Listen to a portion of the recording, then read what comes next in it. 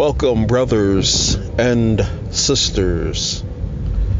You know, um, there is a huge push to get your children back in the school system. You know, because you have signed a contract with the state to educate your children. And this is a literal contract, a working contract that they must, that they insist that you obligate your children to.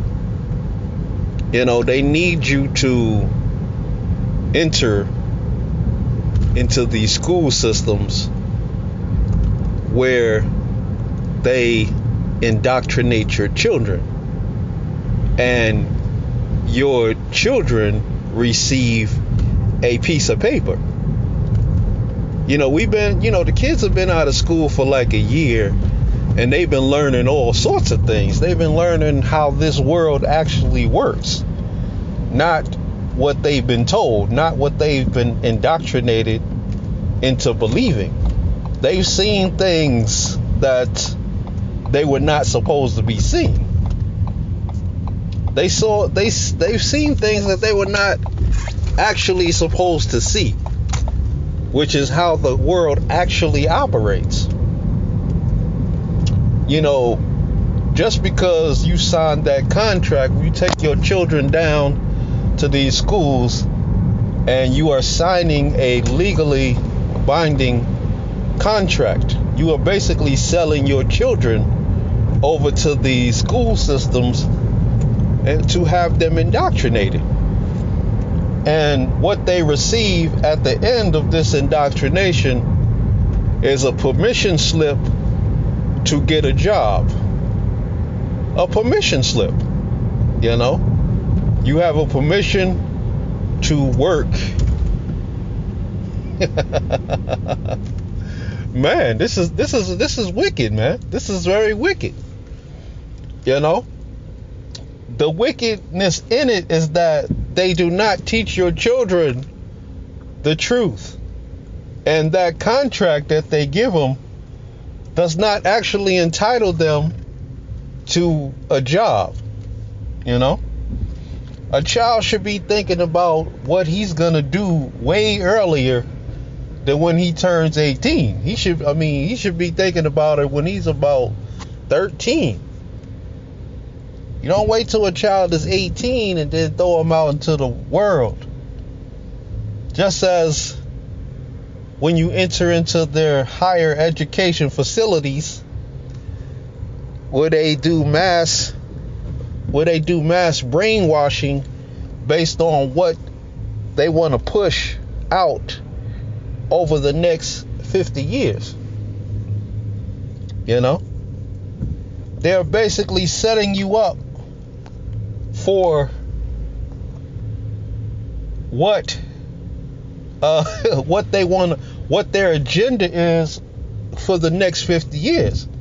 That's why they started teaching all of these woman studies classes, all of this gender studies classes.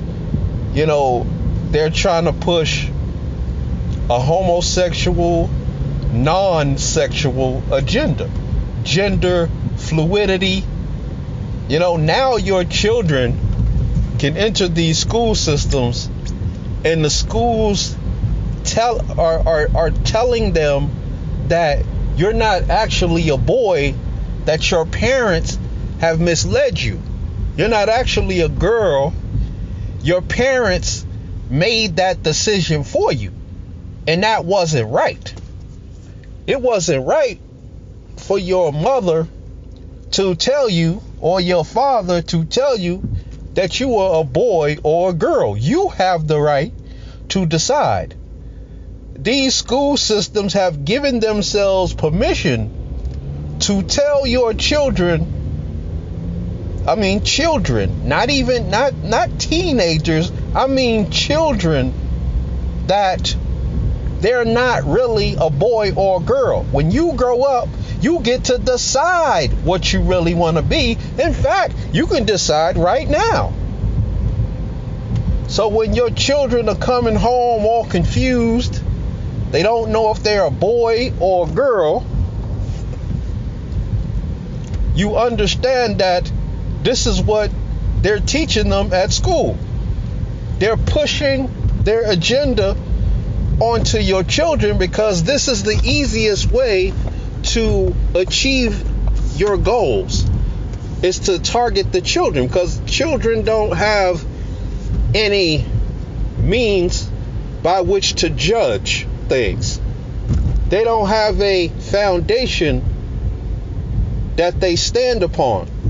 Unless, you know, especially in these black households where the mother is too busy watching stories and the father, who knows if he's even in the home or even if he tried to instill any type of values that he wanted in his children, the school systems are there to tell you that you're wrong. You're not a you don't have the right to tell your children who they are, what they are, how to think, what to do. We have the right to do that.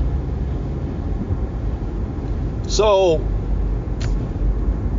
when you go when when this when you see that this society is in such a big rush to get your children back in school get your children back into the indoctrination camps of lies and deceit, you know, you have to actually you have to question it, man. You know, you have to question it. I mean, they don't care who gets sick. They don't care. They don't care about anything. We got to get these kids back to school, and we got to get these people back to work because because work is is designed to tie up your time helping them build their damn kingdom. You know, you go to work while they while your dumbass is at work thinking you doing something, not seeing how you've been played, you know, not seeing how you being played, they got your children in these schools. You're not raising your damn children. They're raising your children. So when your damn child comes home talking about mommy, daddy, uh, don't be calling me no girl, don't be calling me no boy. I don't know what I'm, I'm I am yet. I'm fluid. I'm gender fluid. I'm I don't even know what to call these things. You know? I mean, pretty soon it's going to be so much confusion that they're going to have boy girls. Boy girls. Like boy and girl. You you're both. you're not a boy or a girl, you're a boy and a girl. You uh, know, this is the this is the level of confusion. I mean, and what is the purpose of it? What is the purpose of it? You know? But while you Negroes are at work thinking you're doing the damn thing, when you dumb boule wannabe idiots are at your jobs playing games, guess who's guess who's guess who's controlling the next generation? Guess guess who's manipulating? Guess who's indoctrinating? Your your children. You know, when your child comes home and they say some silly ass shit, you know, and you go outside their head, guess what? The, the, the, school system told them that you don't have the right to go outside their damn heads. You know? That you wrong for that. You're a bad parent. Because you not you don't want to let your child do whatever they want to do. And the ignorance of these children is to think that they've actually decided for themselves when actually this society has decided for them. You know, just just by the mere fact that somebody gives you a choice means that they've they've actually decided for you. but we just don't get it. You know, we just don't understand. They've actually given you a choice, but they've created the choice themselves. To spread more lies, to spread more confusion, to, you know, have more children question themselves and, and be running away from homes so that they can go into their clutches. Like all of you Hispanics out there, you know, y'all, y'all running to the border. I hope y'all understand that they want your children. They want your children. They want another group of people that they can indoctrinate. See, this is they already know that black people are done with the fucking indoctrination camps. And there's too many voices on the internet speaking out against against against it. There's just too many voices. We can't drown out all of these voices. There's too many. We got to get these people back to work. Too many people on the internet talking to each other. We can't have that. We got to cancel people. You know, a boy acts like a boy, cancel his ass. A girl acts like a girl, cancel her ass. Cancel, cancel, cancel. You know, if he said, if he if if he if, if he makes a, a male gesture if a man makes a male gesture, he, if a man makes a male gesture, he is going to be labeled as a as a brute. You know, and this this is meant to this is meant to effeminize your male children. Any sign of a boy being a boy and this is why the world is so dangerous as it is because it's just not taking the way they want it to, man. These are the growing pains. When you seeing these little kids going into the school and they, they, they, they shooting up the schools, you know, that means that the indoctrination is not taking. You know, you can only push somebody so far. Children can sense when they're I mean, even though they might not know that you're that you're you know, even though they might not know I mean, might not be able to articulate the fact that you're manipulating them, uh, they they know what you're doing. They know you're doing it. Like I said, they might not be able to say or describe what it is that you're doing, but they know on a subconscious level that what you're trying to do to them is wrong. You know? Everything about being a boy is wrong. You know, being a man is wrong. If you keep doing that, what are the men gonna be like when um when they come of age? I mean, these dudes are gonna be walking around on eggshells, scared to scared to do anything because they might be labeled a boy. You know, that's too masculine. You know, that's that that you know, you you you going too far with it. You being too manly. We can't have that. You scaring people. You mean.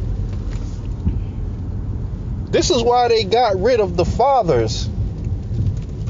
This is why they got rid of the fathers out the home. This is why they spread so much propaganda about men. Because men are the authoritarian wing of their households. So this is why why they had to push the single mother epidemic. We got to get rid of that authority figure in the house, the one that's going to put his foot down and say hell no. We got to give these women jobs because they're more easy, they're easier to manipulate. We just tell them, "Oh, that man, that big bad man, he, you know, he trying to control you." You don't need to let him control you, girl. You don't got to listen to him. You don't have to listen to him. You don't need no man telling you what to do. That's toxic masculinity. Where did all these weird ass terms come from? I mean, because these are these are rather new terms. toxic masculinity. You know, where did these where did these terms come from? Out the blue. Cuz this is part of the agenda that they want to push and women are so dumb that if, if I mean most people are, are this dumb. They don't stand up for what's right. They only stand up for whatever benefits them. See, that's that's another part of the indoctrination. You know, that's another part of. I mean, look at the old sitcoms that were on TV. The man is always painted as a buffoon, as an idiot, as you know, uh, you know, just a, a drunkard, a, a, a buffoon, and then the poor put upon wife, like shows like um, you remember Archie Bunker. Uh, I mean, all all shows had this same this same theme. Um, every every every single, I mean, most sing, situation comedies had this same thing where they always painted the man as a buffoon. Everybody loves Raymond. You know, he was always painted at the as a buffoon, and his wife is painted as the poor put upon wife. You know, she got to deal with this buffoon, this idiot. This is the picture that they wanted to paint of men, the the authority in the house. I mean, why should he? Why should he have no? Why should he have any authority? He's a damn buffoon. He doesn't deserve to have authority over the home. You know? I mean, they did that on the Cosby show as well. The Cosby show, you know, Heathcliff Huxtable, he was a doctor, but they always painted uh um whatever her name was, um y'all know who I'm talking about, his wife as the um as the smarter one. She was always painted as being smarter than than Heathcliff. And even though he's a doctor, he he he he eats hoagie sandwiches. You know, he he uh you know, he does all kind of silliness. He doesn't eat right, but he's a doctor. you know what I mean? this is the picture that they paint of men because like I said, I mean the, the scriptures say that um bind the strong man and you can take the house now. Bind the strong man and you can take the house. So this is about all of this doctrination is not about women. Because you know, women are easy to conquer. You show them something shiny and they and they dumbass is over there smiling and cheesing. You know, I mean, this has happened throughout history you know, they've always been the spoils of war, and they will always be the spoils of war. Now, I got I'm getting off a little a little bit off topic, but uh, certain things need to be said. Um,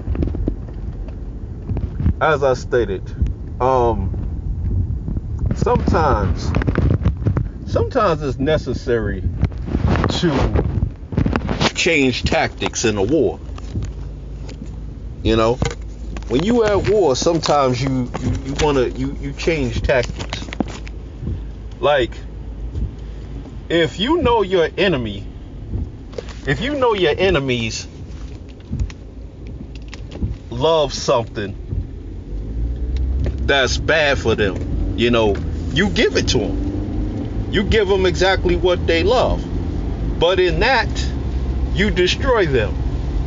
That is a that is a clever art of war tactic. You know, you know that your enemies love some like the Asians did to the white man. You know, he knew that the white man was pretty lazy. He was lazy. He was, you know, all he wanted to do was was, you know, conquer the world and and, and poke his chest out. So he so he allowed him to do that. Now the Asian man has become uh, quite troublesome for for the white man. he's become quite troublesome just by keeping his head down, being the model minority, and uh, now he's a problem. Now, now they, you know, they over they they wish they could bomb China. China was smart. China was like they wasn't like Africa. You know, China was like, okay, y'all want us to build, y'all want us to build this for you. We're not gonna build it on your terms. No, what you, we you give us the technology, and we'll build it for you. You know, give us the technology. It wasn't like, oh, see, see, at first the white dudes try to go over to, to Asia, and they was like, look, we want to set up shop. We want to set up our companies over here, and we want to build all this shit over here, so we could keep. So we want to use your your people as labor, you know, so we could keep all that money from them niggers, and and and, and the people we don't like. We don't want to pay all them taxes either over there in America. You know, but um, so the Asian man was like, oh, no, no, no, no. You ain't about to set up shop over here. What you gonna do is you gonna give us the technology and we'll build it for you. We'll create a cheap labor force and everything for you. You know? But in giving over all of that technology to the Asians, they were able to learn the technology. You know, they were able to come over here go to Harvard, Oxford, and wherever MIT, whatever school that they they they had over here, they were able to learn the technology and take it back over to Asia with them. You know, now they got their own nuclear arsenal. You know, soon as you know when the when the U.S. the U.S. talks about you know blowing up a country, Asia, Asia is not the one they trying to blow up. They want they, now they now they want to talk diplomatically. Now they want to now they want to have peace talks. Now they want to send ambassadors to state. You know, but my point is is that sometimes you got to give your enemies what they want. You know, and you women about to feel so much pain. You about to get exactly what you wanted. You about to get exactly what you've been bitching for, what you've been crying for this whole time. And then trust me, you ain't gonna like it. You know, you you wanted the you wanted this role reversal thing. You you thought you were better than men. Well, guess what? You gonna be the breadwinner. You gonna be out there working all working your ass off while your man, while Ray Ray and them is on the couch chilling, you know, taking care of the kids. This is what you ask for. Sometimes you got to give your enemies what they ask for, and then they figure out that that you know they they actually didn't want it. they didn't really want what they were asking for. Now all of a sudden they want high value men. You know, now you know, nah, y'all gotta fight for your you you gotta get out there, you gotta fight, you gotta you gotta go to war. Eventually you women are gonna get exactly what you've been asking for. And trust me, your ass is you your ass is not gonna like it. You're not gonna like it, man. But as I stated, man, there's such a rush.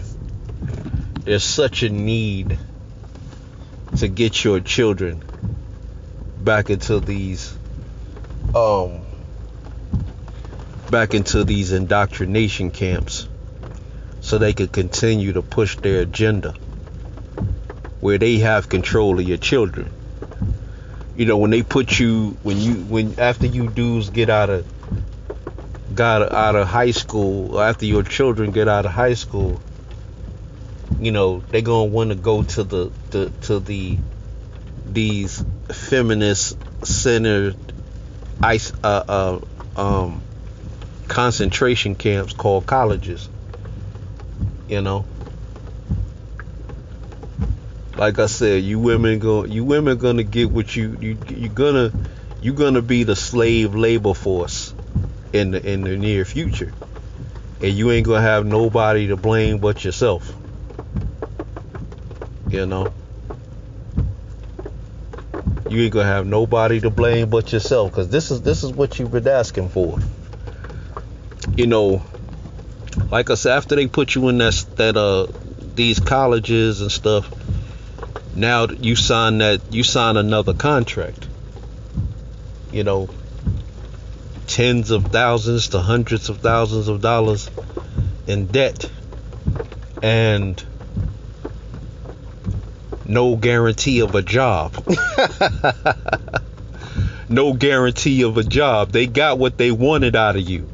All they wanted to do was indoctrinate your dumb ass. You're not promised a fucking job. Okay? No one owes you a job. You ever notice that these, you know, all these women are out here whining, bitching, and complaining, but none of them want to build anything? They simply want to enter into another man's establishment and destroy it and beg for shit, whine for shit, you know. But eventually, y'all gonna have to start. Y'all gonna have to start building for yourself, man. Trust me. You are about to get exactly what you've been begging for, what you've been complaining about. You know, unequal pay. You gonna get it all. But like I said, man, with great power comes great responsibility, man and you don't want the fucking responsibility. See, you still see these women still want men to take on the responsibility. They just want to reap the rewards of whatever a man builds. You know? Do not trust your children to these concentration camps known as the school system. You know? Do not trust them, man. Anyway, brothers, on that note, I want to say peace. Hit the comment section. Let me know what you think. Get on the five steps and adopt the moral code.